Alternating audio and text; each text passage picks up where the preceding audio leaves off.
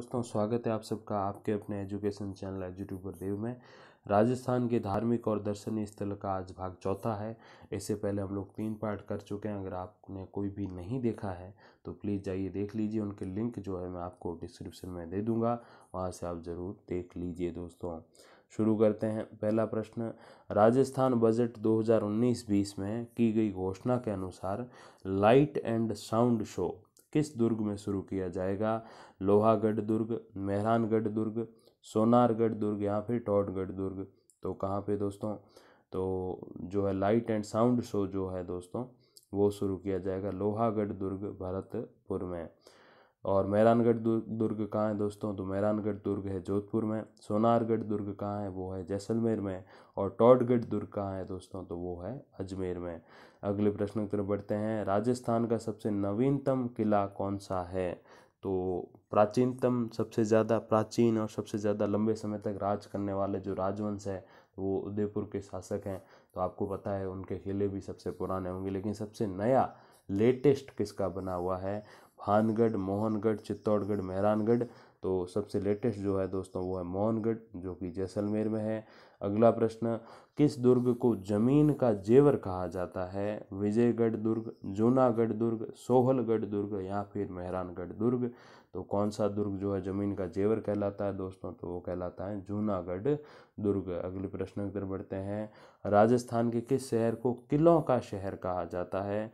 जैसलमेर, जोधपुर, उदयपुर, जयपुर। तो कौन सा शहर किलों का शहर कहलाता है दोस्तों? तो वो है जोधपुर। राजस्थान में कुल किलों की संख्या जो है वो 250 से अधिक है। अगले प्रश्न की तरफ़ बढ़ते हैं। पीपा जी का मंदिर बाड़मेर ज़िले में किस स्थान पे है? जसोल, नाकोड़ा, समदड़ी, तिलवाड़ा। पीपा जी का मंदिर कहाँ पे बाड़मेर में। बाड़मेर पीपा जी का जो मंदिर है वो समदड़ी में है। अगले प्रश्न की तरफ़ बढ़ते हैं। सब मिलाकर जो धन इस पर व्यय हुआ है तथा जिस कारीगरी माफ़ कीजिएगा तो सब मिलाकर जो धन इन पर व्यय हुआ है तथा जिस कारीगरी और श्रम का उपयोग हुआ है, उन सबको ध्यान में रखते हुए ये कहा जा सकता है कि केवल आगरा का ताजमहल ही एक ऐसी इमारत है जिसे इससे बढ़कर बताया जा सके। देलवाड़ा के मंदिर के संदर्भ में ये कथन किसका है?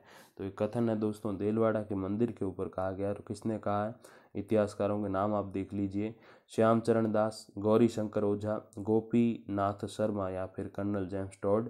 तो किन्होंने कहा तो कर्नल जेम्स टॉड ने ये बात कही है दोस्तों वापिस से थोड़ा सा पढ़ लेते हैं कि सब मिलाकर जो पैसा इस पर खर्च हुआ है और जिस कारीगरी और श्रम का प्रयोग हुआ है, उन सबको ध्यान में रखते हुए केवल आगरा का ताजमहल इससे आगे दिखाई पड़ता है। बाकी सब इससे पीछे है तो देलवाड़ा के मंदिरों के बारे में कथन जेम्स टॉड का है। जैसलमेर स्थित संभवनाथ का मंदिर स्थापत्य की दृष्टि से देलवाड़ा के मंदिरों के जैसा ही है। तो ये भी एक इम्पोर्टेंट क्वेश्चन दोस्तों, आगे बढ़ते हैं। अही छत्रगढ़ दुर्ग कहाँ स्थित है, जिसे यूनेस्को द्वारा अवार्ड ऑफ़ एक्सीलेंस से सम्मानित किया जा चुका चुका है। तो दोस्तों, अगर आप हिस्ट्री वाले जो हमारे क्वेश्चंस थे एमसीक्यूज थे, वीडियोस थे, वो अगर आपने देखे हैं तो आपको पता होगा कि अही छत्रगढ़ या अही छत्रपुर किसे कहते हैं? तो अही छत्रपुर कहते हैं नागौर को। तो ज़ाहिर सी बात है अही छत्रगढ़ दुर्ग भी हुए जो है वो नागौर में ही है। आगे बढ़ते हैं। मामा भांजा की छत्री कहाँ स्थित हैं? बटनेर के दुर्ग में रणथम्बोर के दुर्ग में, मेहरानगढ़ दुर्ग में, या फिर कुंभलगढ़ दुर्ग में। तो मामा भांजा की छत्री जो है वो मेहरानगढ़ में और मेहरानगढ़ जोधपुर में आपको पता है। ये मुख्यतः कीरत सिंह सोडा, धन्ना और भिया वीरों की छत्रियाँ हैं। आगे बढ़ते हैं। चूरू के किले के संबंध में अग्रलिखित पंक्तियाँ किसके द्वारा कही गई हैं? धीरे ऊपर नीमड़ी, धीरे ऊपर तोप। चांदी गोला चालता, गोरा नाख्या टोप। बीको फीको पड़ गयो, बण गौरा हमगीर। चांदी गोला चाल या चूरू री तासीर। तो चूरू के बारे में तारीफ़ की गई है कि बीकानेर का रंग फीका पड़ गया था और गोरों ने अपना जो है जो हथियार नीचे डाल दिए थे, क्योंकि चांदी के गोले चलते थे। ठीक है, चांदी की गोले किसकी तरफ़ से चलते थे? चूरू की तरफ़ से चलते थे। तो चूरू की जो एक तरीके से अच्छी आर्थिक स्थिति का जो बखान है या चूरू की जो युद्ध सुदृढ़ता है, उसका बखान देखो, कवि ने कैसे किया है कि चांदी के गोले चला रहे थे और चूरू की तासीर चली, यानी कि चूरू की हिम्मत देखी क्योंकि बीको फीको बढ़ गयो बीकानेर फीका पड़ गया था और हम आगे निकल गए क्यों चांदी के गोले चला सकते तो इतना जो है वैभव और इतना जो है पैसा वगैरह था उनके पास। तो ये किसका, ये सारी पंक्तियाँ हैं? कवि बिहारी, उद्योतन सूरी माफ़ कीजिएगा, कवि बिहारी, उद्योतन सूरी, आशा बारट और शंकरदान सामोर। तो ये किसकी पंक्तियाँ दोस्तों? तो ये पंक्तियाँ जो हैं, वो है शंकरदान सामोर की। आगे बढ़ते हैं। हिंगलाज माता का मंदिर, जिनका सम्राट अकबर ने भी पूजन किया, वो कहाँ पे है? बाड़मेर, जैसलमेर, जालोर, पाली। तो वो हिंगलाज माता जी का मंदिर है, वो है जैसलमेर में। जिला मुख्यालय से पंद्रह किलोमीटर दूर लोधरवा। दोस्तों, हिंगलाज माता के मंदिर यूँ तो जो है देवी माँ के बहुत हैं। बट उसमें भी ये है कि अकबर ने किसकी पूजा की थी, किस मंदिर की? तो वो है जैसलमेर वाले हिंगलाज माता के मंदिर की। आगे बढ़ते हैं। जैसलमेर ज़िले में सहस्रफणा, चिंतामणि पार्श्वनाथ मंदिर किस स्थान पर निर्मित है? पोकरण, फलसूण, मोहनगढ़ लोद्रवा तो किस जगह पे है सहस्रफणा, चिंतामणि पार्श्वनाथ मंदिर? तो वो है लोद्रवा में। आगे बढ़ते हैं। कुछ पंक्तियाँ यहाँ भी हैं। मैं अन्य ऐसा कोई भवन नहीं जानता जो इतना रोचक और प्रभावशाली हो, या जो स्तंभों की व्यवस्था में इतनी सुंदरता व्यक्त करता हो। फर्ग्यूसन द्वारा ये कथन किस मंदिर हेतु कहे गए हैं? एक लिंग जी का मंदिर, रणकपुर का मंदिर, कुंभ श्याम का मंदिर, या फिर शीला देवी का मंदिर? तो ये कहे गए दोस्तों, रणकपुर के मंदिर के बारे में, फर्ग्यूसन के द्वारा। उनके स्तंभों की तारीफ़ की गई है। इस मंदिर को रणकपुर का चौमुख मंदिर भी बोलते हैं। इस मंदिर की स्थापना चौदह सौ उनतालीस ईस्वी में महाराणा कुंभा ने की थी। इस मंदिर में प्रथम तीर्थंकर आदिनाथ की मूर्ति स्थापित है। आगे बढ़ते हैं दोस्तों। हेरम्ब गणपति का मंदिर, जहाँ गणपति मूषक पर सवार ना होकर शेर पर सवार हैं। इस प्रकार का भारत का एकमात्र मंदिर राजस्थान के किस ज़िले में है? हेरम गणपति का मंदिर बाड़मेर, जैसलमेर, बीकानेर, जोधपुर तो हेरम गणपति का जो मंदिर है वो है बीकानेर में। आगे बढ़ते हैं। ग्यारहवीं शताब्दी के काठियावाड़ी शैली के मंदिर कहाँ स्थित हैं, जिनमें गुप्त वंश की कला का स्पष्ट प्रभाव दिखाई पड़ता है? तो कहाँ है दोस्तों? जैसलमेर, उदयपुर, अजमेर, बाड़मेर। काठियावाड़ी शैली के जो मंदिर हैं दोस्तों, वो बाड़मेर में, गढ़रा रोड में है। आगे बढ़ते हैं। कोटड़ा का किला कहाँ स्थित है? बाड़मेर, जैसलमेर, जोधपुर, अजमेर। तो कोटड़ा किला दोस्तों जो है वो बाड़मेर में है। आगे बढ़ते हैं दोस्तों। क्षेत्रपाल के सबसे अधिक मंदिर राजस्थान के किस ज़िले में है? पाली, धौलपुर, डूंगरपुर, बांसवाड़ा। तो क्षेत्रपाल एक भगवान है। उनके मंदिर जो है वो डूंगरपुर में सबसे ज़्यादा है। आगे बढ़ते हैं। मुस्लिम दुर्ग निर्माण पद्धति से बनाया गया राजस्थान का एकमात्र किला कौन सा है जिसमें पंद्रह सौ छिहत्तर ईस्वी की हल्दी घाटी युद्ध की रणनीति बनाई गई थी? तो कौन सा वो किला है? जहाँ हल्दी घाटी युद्ध की रणनीति बनी तो उससे आप समझ सकते हैं कि वो अकबर का किला है। जहाँ पे रणनीति बनी थी, वो एकमात्र ऐसा किला जो मुस्लिम पद्धति से बना हुआ है। आगे बढ़ते हैं दोस्तों, किस दुर्ग का दूसरा नाम? कुमट का दुर्ग है। सिवाना का दुर्ग, जैसलमेर का दुर्ग, सिरोही का दुर्ग, या फिर पोखरण का दुर्ग। तो कुमट का दुर्ग कहा जाता है सिवाना को। अब सिवाना को कुमट का दुर्ग क्यों कहते हैं? कि वहाँ कुमट नाम करके एक, जो है पेड़ होते हैं, जहाँ पे कुमट पैदा होते हैं। कुमट क्या होते हैं?